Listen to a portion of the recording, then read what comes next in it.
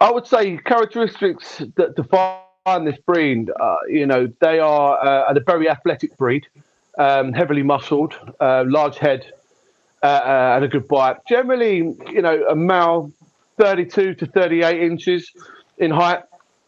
Um, and, and, that's generally what, what, we're looking for in them. Uh, the acceptable colours for the Chinese red dog is, is black and red.